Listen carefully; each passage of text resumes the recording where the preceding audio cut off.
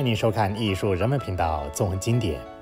今晚你将欣赏到在嘉定大剧院举行的纪念一代外交家顾维钧专场音乐会。著名女高音歌唱家黄英、男中音王英鹏、小提琴家黄梦拉、钢琴家牛牛和作曲家龚天鹏带来精彩纷呈的音乐表演。一段广告之后，敬请欣赏。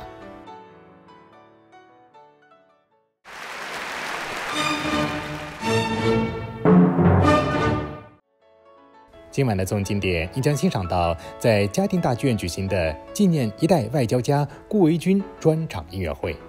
著名的女高音歌唱家黄英、男中音王云鹏、小提琴家黄猛拉、钢琴家牛牛和作曲家龚天鹏带来精彩纷呈的音乐表演。音乐会以自述的形式切入，用顾维钧的传记和日记讲述他的一生。辅以影像和音乐，将他遇到的困难和挑战娓娓道来。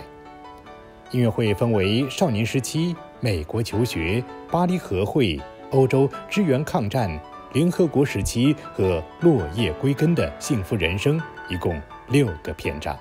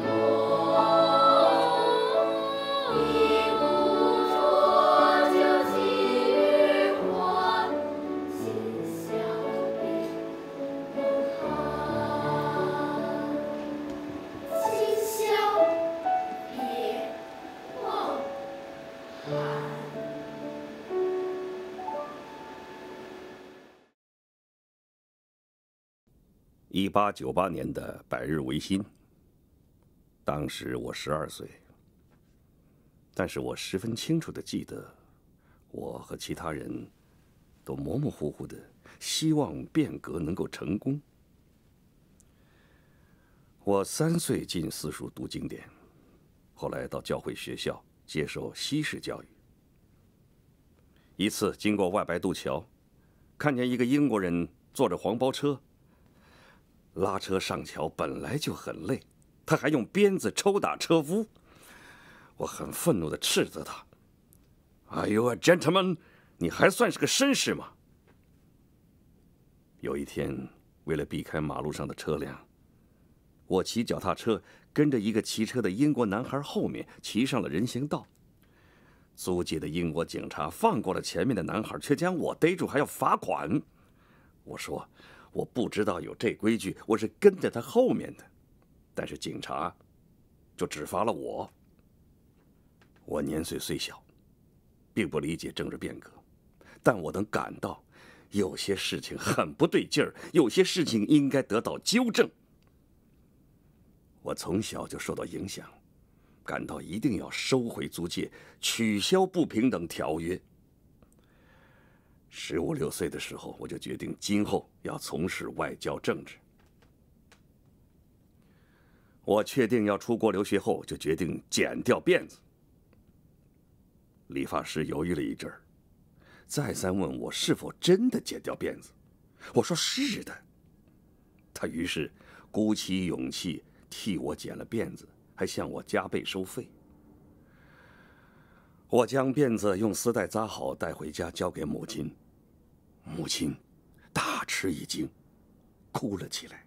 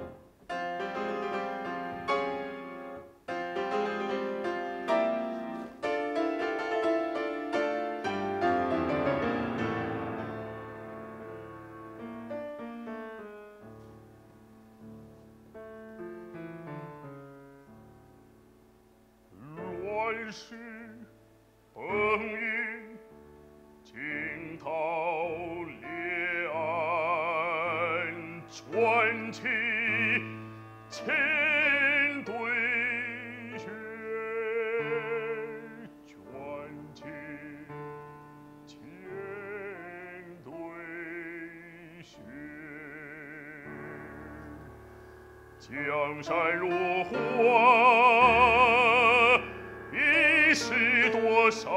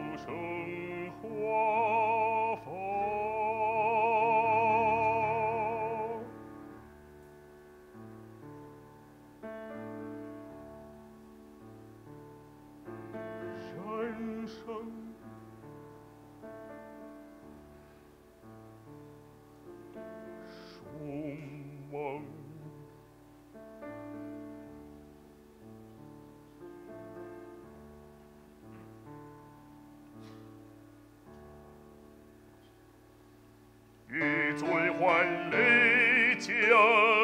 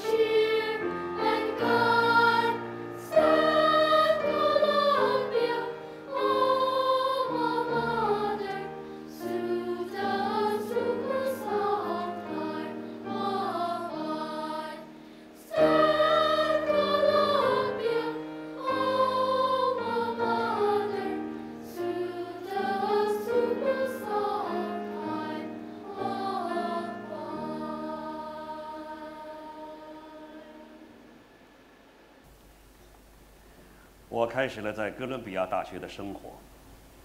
我的主修科是国际法与外交，由摩尔教授指导。他像父亲一样的关心我。除了学习，我还参加了通常由法学社主办的讲演和辩论比赛。我当上了大学辩论队的队长。这在当时引起了一定的震动，因为我是队里的唯一的一个外国人。各俱乐部和社团时常邀请我去演讲。我演讲的题目通常是听众所感兴趣的，都是有关中国的，有关中国的形势、中国的问题，还有中国的未来。我参加了《旁观者》杂志编辑部成员考试，并合格的当上了副编辑。四年级我当上了总编辑，这是个了不起的荣誉。我甚至参加了戏剧社，我很喜欢。这段经历。一九一一年，辛亥革命爆发了，为国效力的心情再度活跃起来。一二年的二月，我收到了中国驻华盛顿使馆的公函，邀请我去总统办公室当英文秘书。事情来得很突然，我是又惊又喜。但我还没有完成哥伦比亚大学的博士学业，所以我无法接受。导师摩尔得知这个情况以后，把我教训了一顿。他说：“他知道我读书是为了准备服务国家的，而这次就是一个非常好的机会。”我就反问他了：“那我的论文怎么办呢？”他读了我已经完成的论文的引言部分，两天以后告诉我，接受引言作为我的博士论文。一九一二年四月。我匆匆辗转回到北京这就开始了我的官场生活。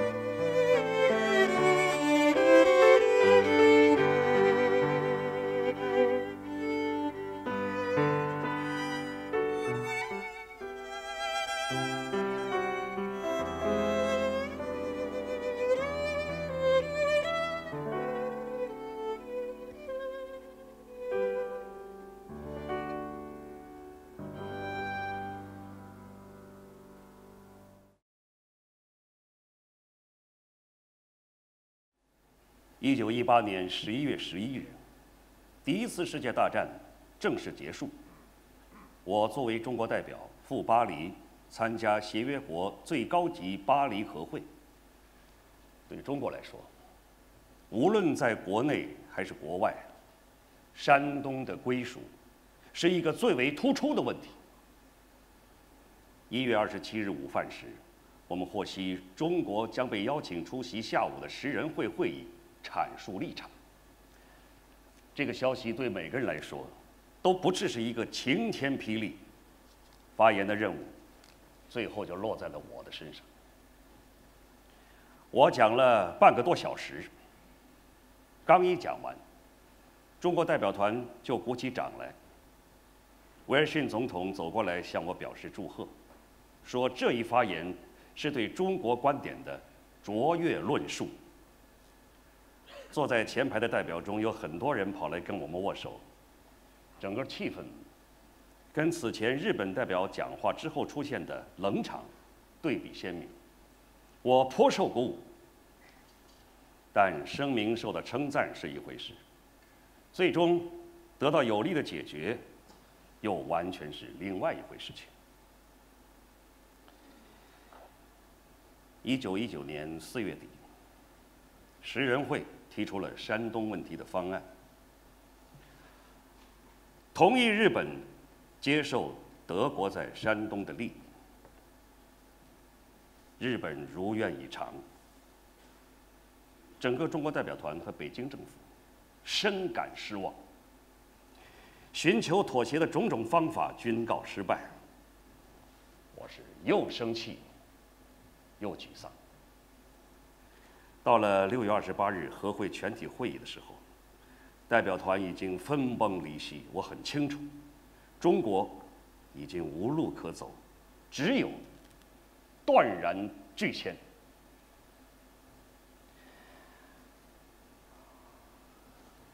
这天清晨，我驱车缓缓行驶在黎明的晨曦中，我觉得一切是那么样的。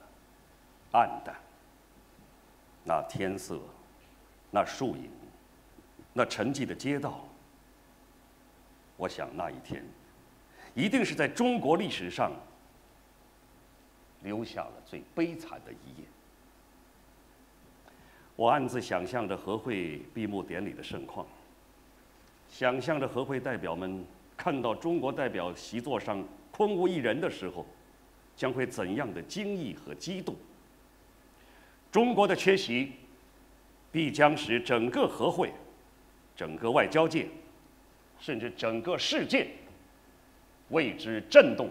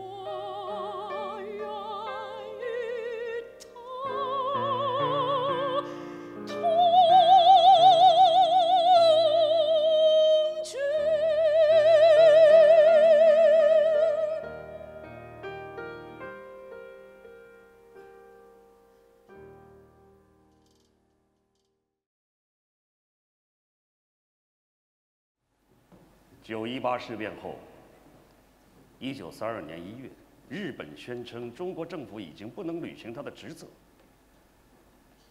这是侵华列强提出来为其侵略行动辩护的常用借口。国际联盟派调查团来调查满洲的情势，团长是李顿博士，我是中国代表。日本反对我进入满洲。并威胁说，日本政府不能保证我的安全，但我决定不顾个人安危去履行我的职责。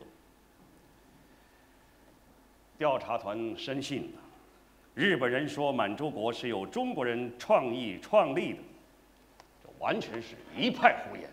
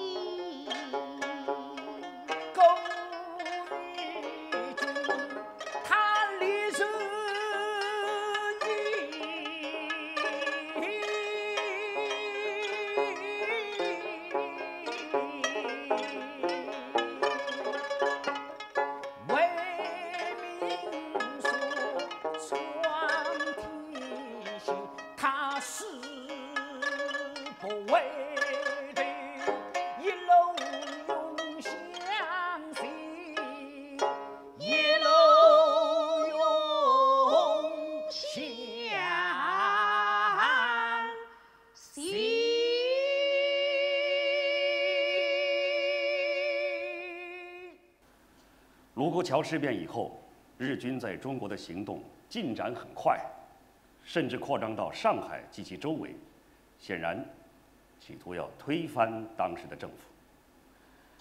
对中国来说，卢沟桥事变发生以后，驻外代表的主要任务之一是争取援助，我为此付出了我的全部精力。九月十五日，我在国联的大会上发了言。发言完毕，有很多人鼓掌。决议中，我成功的坚持做了一些修正，谴责日本，提到他已经在全世界激起了极端的厌恶和愤慨。这次会后，我感到精疲力竭。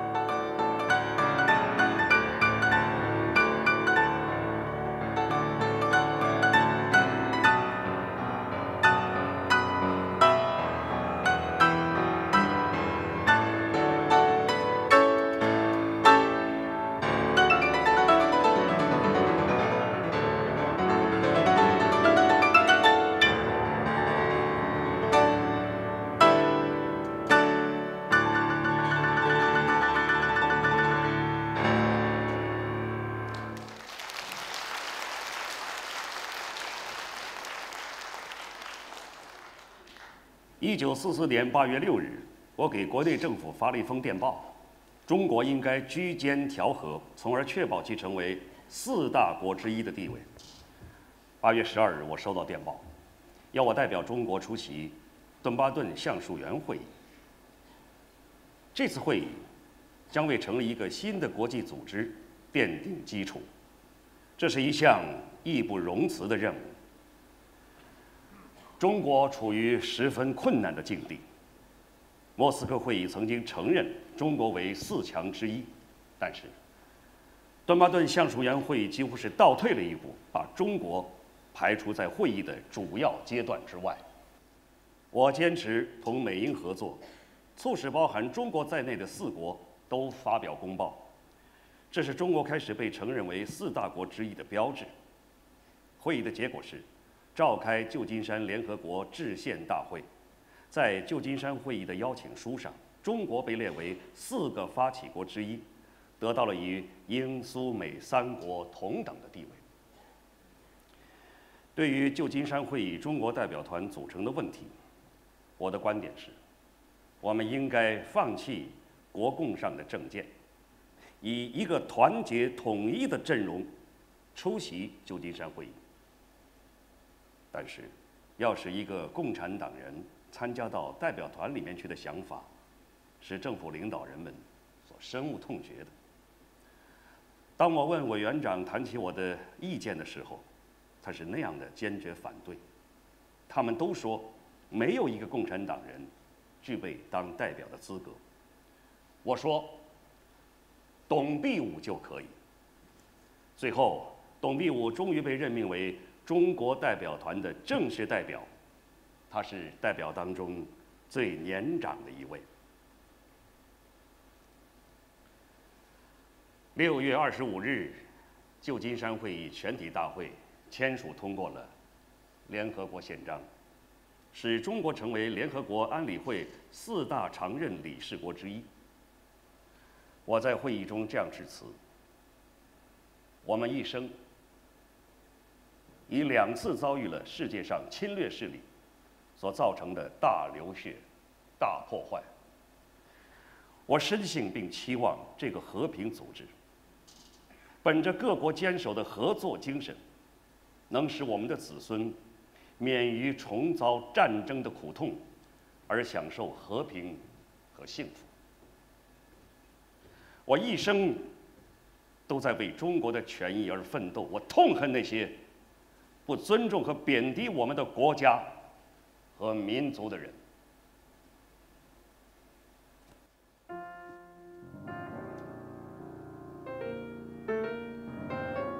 满江红，张自忠。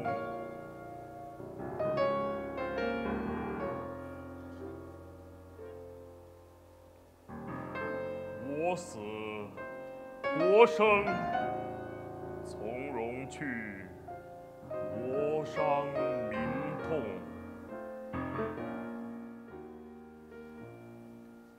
回首处，家乡还远，高堂难凤。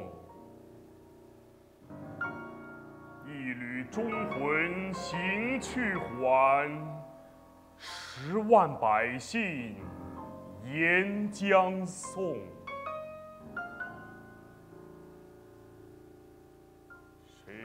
堪比荣辱一肩担，国为重。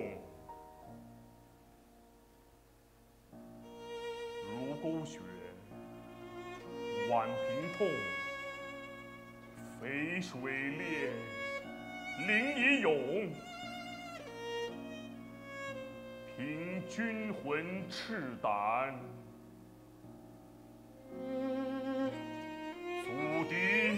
黄纵。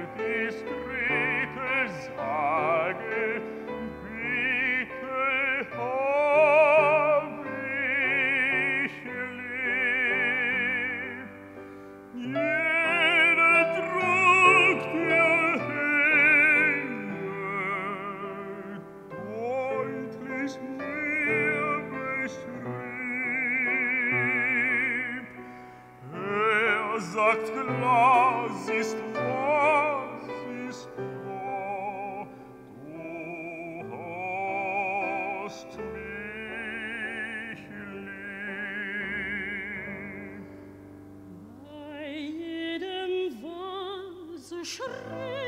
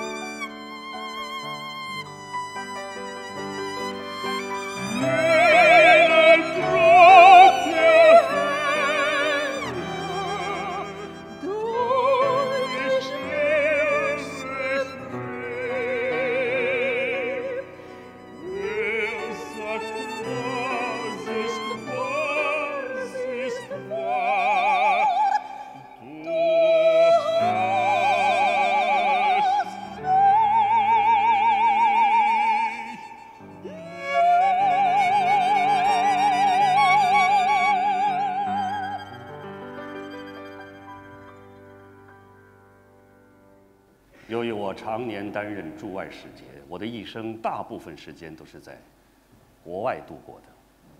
我的一生都遵循中国的传统价值观，礼仪廉耻。有人曾经问我，在中英文两种书中，以读何者较为称心愉快？我回答是：中文书。我们的根毕竟是在中国。我始终牵挂着。故乡，尤其是家乡嘉定，虽然已相隔了数十年，但是故乡的场景却依旧清晰无比。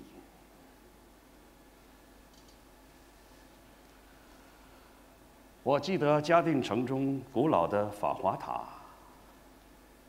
还有江南最大的孔庙。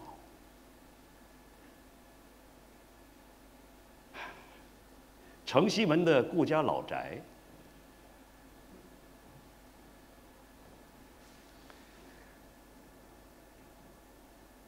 以及家乡的插口菜、鲁灰菜，都是我寤寐思念的。明月松间照，清泉石上流。路是今夜白，月是故乡明。